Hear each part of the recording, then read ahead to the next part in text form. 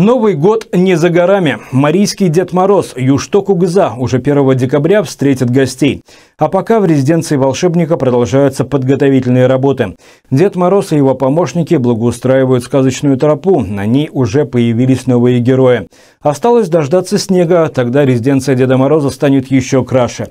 Напомню, владения волшебника располагаются в селе Кукнур Сернурского района. Однако попасть туда в гости можно лишь по предварительной записи.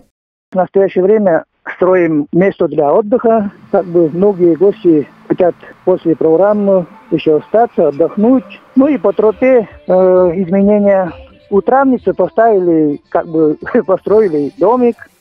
Вот там не было такого, была только хижина лесная. Горку благоустроили тоже. Ограждение с двух сторон. И там через речку расширили как бы мостик, настил сделали. Вот. Ну и также для фотозоны тоже постройки там э, сделали. Ну так, думаем э, начать прием с 1 декабря.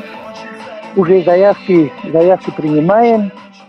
Дед Мороз будет рад гостям в преддверии новогодних праздников, во время январских выходных и даже после них, почти до весны. В резиденции будут соблюдаться все меры санитарно-эпидемиологической безопасности.